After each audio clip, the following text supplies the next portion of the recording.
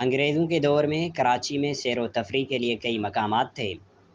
उन्हीं में से एक अहम मकाम जजीरा मनोड़ा है, जिस पर यह रात में जहाज़ों को रास्ता दिखाने वाला लाइट हाउस, पाकिस्तान का वाद लाइट हाउस है।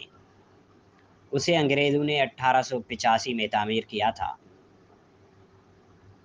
मनोड़ा देबिल की बंदरगाह थी, जहाँ मकरानी बलोच औरत माई कलाची का जहाज़ों को खाना फराम करने का बिज़नेस था। मनोड़ा जाने के लिए कीमाड़ी की बंदरगाह से कश्तियों में बैठना पड़ता है। मनोड़े का साहिल क्लिफ्टन की तरह सुरमई नहीं, बल्कि पीली रेत और नीले पानी की सफ़ेद झाग वाली शोरीदा लहरों की आमाजगाह है। लेकिन यहाँ साहिल की सैर से ज़्यादा मज़ेदार और सनसनी खेज़ वो कश्ती का सफ़र होता है। जिसमें बैठकर कीमाड़ी और मनोड़ा के दरमियान सफ़र होता है। कीमाड़ी के घाट पर बगैर रेलिंग के ख़तरनाक सीढ़ियाँ समंदर के गदले और मचलते पानी के अंदर तक उतरती चली जाती हैं। उन सीढ़ियों के साथ बंधी हुई लांचें पानी की लहरों पर तेज़ी से हिल रही होती हैं। उन डोलती कश्तियों में सिर्फ़ छलांग लगाकर ही सवार हुआ जा सकता है। कश्ती की दीवारों के साथ जुड़ी हुई लकड़ी की नशस्तें पुर होते ही उसके घिर घिराते इंजन की आवाज़ बुलंद हो जाती है और वो फट फट करती हुई घाट से निकलकर बंदरगाह में लंगर अंदाज ऊँचे ऊँचे बहरी जहाज़ों से बचती बचाती जजीरा मनोड़ा की तरफ़ बढ़ने लगती है। समंदर की ठंडी और खुशगवार हवा खाकर सारे मुसाफिर खिल उठते हैं। जैसे ही कश्ती मनोड़ा के साहिल पर पहुँचती है तो, तो वहाँ मल्लाहों के साथी लोगों को पकड़ पकड़ कर लकड़ी की वो सीढ़ियाँ पार करने का कहते हैं। मनोड़ा एक छोटा सा जजीरा नुमा है जो कराची की बंदरगाह के जनूब में वाक़ है। मनोड़ा और उसके करीबी जजायर कराची की बंदरगाह के लिए एक कुदरती हिफाजती आड़ का काम करते हैं। जदीद दौर में समंदरों में बहरी जहाज़ों की रहनमाई के लिए कई एक तरीके राइज हैं।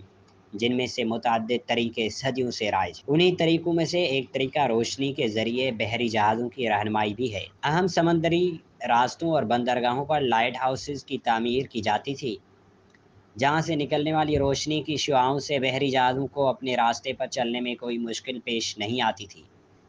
लाइट हाउसेस की तमीर का मकसद बहरी जहाज़ों को रास्ते की रुकावटों से आगाह करना भी होता है। कराची में वाक़ पाकिस्तान की सबसे बड़ी बंदरगाह में हर वक्त बहरी जहाज़ों की आमद व रफ्त का सिलसिला जारी रहता है। इसी वजह से यहाँ रहनमाई के लिए मनोड़ा में एक बहुत बड़ा लाइट हाउस बनाया गया है। अट्ठारह में मनोड़ा में बहरी जहाज़ों की रहनमाई के लिए लाइट हाउस की तामीर किया गया था। जब 1909 में उस लाइट हाउस को नई रोशनी से आरास्ता किया गया तो उसे दुनिया के सबसे ताकतवर लाइट हाउस होने का एजाज़ हासिल रहा। यूँ तो कराची को बंदरगाह के तौर पर अट्ठारहवीं सदी में ही इस्तेमाल करना शुरू कर दिया गया था। लेकिन तब यहाँ आने जाने वालों को बेतहाशा मुश्किल का सामना करना पड़ता था। आज के कराची की बंदरगाह की इब्तदाई तमीर का सहरा एक अंग्रेज़ इंजीनियर जेम्स वाकर के सर है। इसे पत्थरों से तामीर किया गया है। ये लाइट हाउस बहुत जदीद टेक्नोलॉजी से आरास्ता है और यहाँ जदीद आलात नस्ब किए गए हैं। यहाँ अट्ठारह में बहुत से खूबसूरत घर भी तामीर किए गए थे, जिनमें बेशतर इस वक्त बहुत बुरी हालत में हैं। खिड़कियाँ और दरवाज़े टूट चुके हैं।